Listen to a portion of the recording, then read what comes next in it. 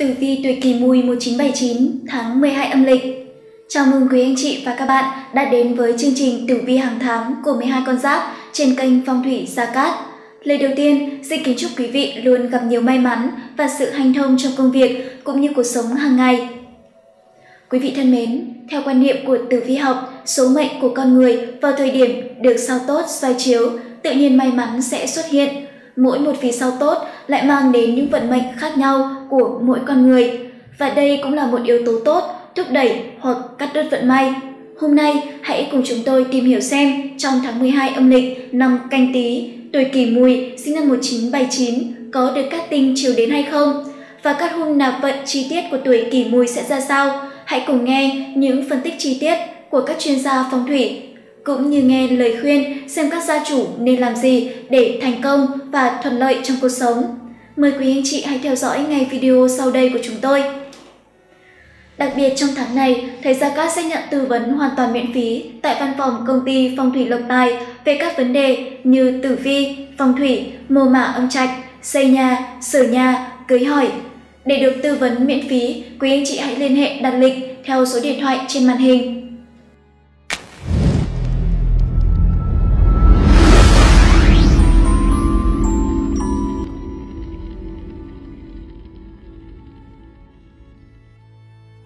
Quan tháng 12 âm lịch năm 2020.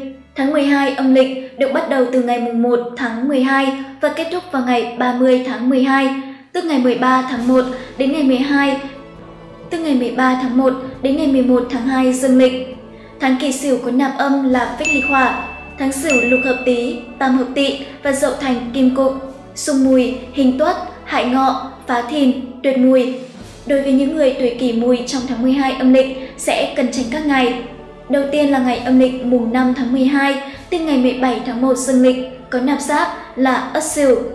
Thứ hai là ngày âm lịch 17 tháng 12, tức ngày 29 tháng 1 dương lịch, có nạp giáp là Đinh Sửu. Thứ ba là ngày âm lịch 29 tháng 12, tức ngày mùng 10 tháng 2 dương lịch, có nạp giáp là Kỷ Sửu.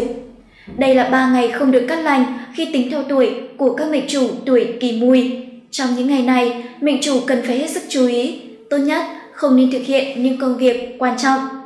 Lời khuyên từ các chuyên gia phong thủy cho bản mệnh là nên chú ý tới sức khỏe nhiều hơn, tiêu tiền vào những việc cần thiết, không nên vung tay quá chán.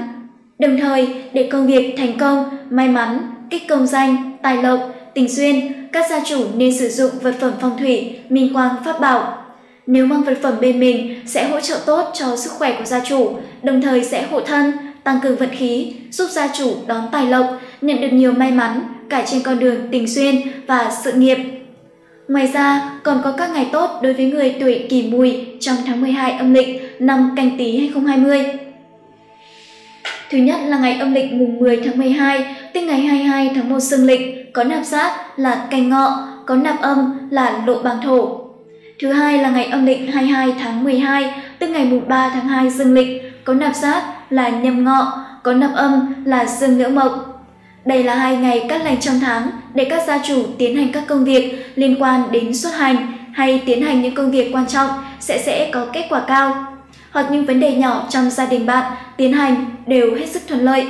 Ngoài ra, việc chọn lựa ngày tốt cần phù hợp với tuổi của gia chủ trong những công việc như tiến hành động thổ, ngày giờ mua xe mới, ngày giờ cưới hỏi, để chọn được ngày giờ đẹp phù long tương chủ, ngày giờ tài lộc của gia chủ, anh chị và các bạn hãy để lại thông tin dưới phần bình luận theo mẫu, họ tên, ngày tháng năm sinh, số điện thoại hoặc có thể liên hệ trực tiếp tới số hotline hiển thị trên màn hình để được tư vấn hoàn toàn miễn phí. Tổng quan tử vi tuổi kỷ mùi 1979 trong tháng 12 âm lịch cũng giống như các tuổi mùi khác thì kỷ mùi yêu thích cuộc sống vật chất, Tuy nhiên, tự bản thân họ có thể đáp ứng được nhu cầu sống của mình mà không quá phụ thuộc vào người khác. Với người tuổi kỷ mùi thì gia đình luôn là tài sản quý giá nhất và họ luôn cố gắng làm việc chăm chỉ vì những người mình yêu thương. Tử vi tuổi kỷ mùi tháng 12 âm lịch cho thấy đây có thể là một tháng đầy thách thức. Kỷ âm thổ gặp mùi âm thổ là tỷ kiên, nghĩa là được sự trợ giúp, hỗ trợ từ những người thân, anh em của mình. Trong tháng này, nếu gia chủ gặp phải những vấn đề khó giải quyết hoặc không giải quyết được, hãy nhớ mình vẫn còn có những người thân xung quanh để tìm sự giúp đỡ, hóa nguy thành an, hóa hung thành cát. Đối với người tuổi kỷ mùi trong tháng 12 âm lịch sẽ cần chú ý các ngày âm lịch mùng 5 tháng 12 tức ngày 17 tháng 1 dương lịch có nạp giáp là Ất Sửu. Đây là ngày không được cát lành khi tính theo tuổi của các mệnh chủ tuổi kỷ mùi sinh năm 1979. Trong ngày này, mệnh chủ cần phải hết sức chú ý. Tốt nhất, không nên thực hiện những công việc quan trọng như nhập trạch, động thổ, tiến hành hợp tác, làm ăn. Nếu muốn tiến hành, cần tham khảo kỹ càng ý kiến từ các chuyên gia phong thủy. Để may mắn thuận lợi trong công danh, tài lộc, các gia chủ kỳ mùi nên sử dụng ngay vật phẩm phong thủy, minh quang pháp bảo. Vật phẩm có tác dụng kỵ tà, hóa sát, chiếu phúc, nạp tài, tịnh hóa nghiệp lực, gia trì công đức, từ đó thâu thu tài lộc, hỗ trợ hành mệnh cho gia chủ. Đặc biệt, vật phẩm có giúp cho công việc làm ăn của gia chủ được hành thông, thuận lợi, thành công trong sự nghiệp một cách vượt trội. Sự nghiệp của tuổi kỷ mùi Tháng 12 âm lịch là tháng khó khăn đối với những người tuổi kỷ mùi. Công việc của tuổi kỷ mùi bắt đầu xa suốt, bản mệnh gặp phải đủ chuyện phiền phức, rắc rối, không thể nào kiểm soát được tình hình. Dù bản mệnh đã cố gắng để có thể đảm bảo được tiến độ công việc, nhưng không được như ý. Hơn nữa do bản tính thiếu quyết đoán, nên có khi đứng trước cơ hội chờ cho bạn lại không hề hay biết, thay vì tin lời người tốt thì lại nghe theo kẻ xấu, cuối cùng mọi sự đều hỏng bét. Quá cảm xúc trong những chuyện cần đến lý trí, nhưng gia chủ tuổi kỷ mùi sẽ mắc sai lầm, con đường công danh, sự nghiệp vì thế mà vừa khởi sắc đã có dấu hiệu sụt giảm. Để kích hoạt sự nghiệp ngày càng phát triển, hóa giải vận hạn không may mắn, đạt được thành công, thầy Gia Cát khuyên tuổi kỷ mùi nên sử dụng ngay vật phẩm phong thủy, minh quang, pháp bảo. Vật phẩm có tác dụng kỵ tà, hóa sát, chiếu phúc, nạp tài, tịnh hóa nghiệp lực, gia trì công đức, từ đó thâu thu tài lộc, hỗ trợ hành mệnh cho gia chủ. Đặc biệt vật phẩm còn giúp cho công việc làm ăn của gia chủ được hành thông, thuận lợi, thành công trong sự nghiệp một cách vượt trội. Về tài lộc, Do công việc của tuổi kỷ mùi trong tháng 12 âm lịch không thuận lợi nên tiền không đủ dùng. Nếu bạn thiếu tiền, tốt nhất nên nhờ sự giúp đỡ của những người thân hoặc bạn bè thay vì chọn một khoản vay từ người lạ, bởi rất có thể bạn sẽ gặp phải lừa đảo. Ngoài ra trong tháng này, tốt nhất bạn lên kế hoạch cho tháng sau để tăng thu nhập, duy trì tài chính. Đồng thời cũng cần cẩn trọng, không hành động bốc đồng. Để may mắn thành công, các anh chị tuổi kỷ mùi hãy mang bên mình pháp khí phong thủy, minh quang pháp bảo Minh quang pháp bảo được coi là vật phẩm hoàn hảo, chứa đựng những linh khí trời đất, được hội tụ bởi những tinh hoa Phật pháp cùng sự chất lọc những tinh túy, linh thiêng của đất trời, chứa nguồn năng lượng xua tan được tà ma. Đây chính là những nghiên cứu được các thầy trong Hiệp hội Phong thủy Tâm linh Việt lồng ghép vào trong đó. Về tình cảm và gia đạo, Tử vi tuổi kỷ mùi trong tháng 12 âm lịch cho thấy rằng có ngũ hành xung khắc, ảnh hưởng không nhỏ tới tình cảm của đôi lứa, Hai người không chịu đứng vào vị trí của nhau để hiểu cho đối phương nên đã xảy ra tranh cãi liên miên. Người chưa có gia đình cần phải cẩn trọng, chu đáo trong cách ứng xử, giữ tình cảm tốt đẹp để có được nhân duyên tốt. Ai đã có tình, ai đã có gia đình nên trân trọng người bên cạnh, đừng có mới nới cũ, mọi chuyện xấu đi. Cho nên, cẩn thận những người thứ ba xen vào chuyện tình cảm tốt đẹp. Bên cạnh đó, bạn cũng nên xây dựng được những mối quan hệ hài hòa. Người trước những người trước nay vốn thân thiết có thể chính là quý nhân của bạn, giúp bạn vươn tay chạm đến những cơ hội hiếm có vào thời điểm này. Tuy nhiên trong tháng 12 âm lịch, gia đình bạn sẽ gặp những xích mích, cãi vã, tranh luận giữa bố mẹ và con cái.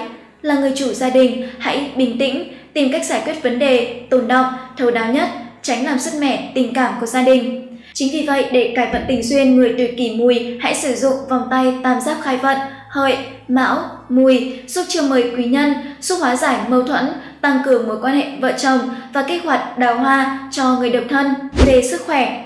Phần trình sức khỏe của người tuổi kỷ mùi trong tháng 12 âm lịch cho rằng tình trạng không được tốt.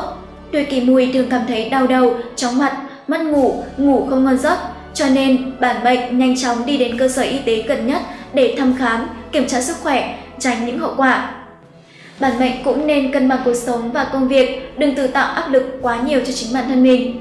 Bên cạnh đó, tuổi kỷ mùi có khả năng mắc bệnh liên quan đến tim mạch hoặc phải hết sức đề phòng những nơi tối tăm, ẩm thấp, tránh ức chế những chuyện vô bổ. Bạn nên đi khám sức khỏe, định kỳ thường xuyên, tập thể dục, ăn uống có chế độ, điều dưỡng cơ thể. Để tăng cường sức khỏe, những người tuổi kỷ mùi cần vòng tam giác khai vận, hợi, mão, mùi Vòng tam giác khai vận của kênh phong thủy Gia Cát được hầu hết các thầy phong thủy sử dụng làm vật phẩm hộ thân, chiêu quý nhân, hóa giải thị phi, tiểu nhân hãm hại, và là vật phẩm phong thủy cực kỳ hiệu quả trong việc kích tài lộc cho gia chủ. Trên đây, chúng tôi vừa chia sẻ với quý anh chị về vận trình của gia chủ tuổi Kỷ Mùi sinh năm 1979 trong tháng 12 âm lịch. Cảm ơn quý anh chị đã theo dõi video của chúng tôi. Còn bây giờ, xin chào và hẹn gặp lại!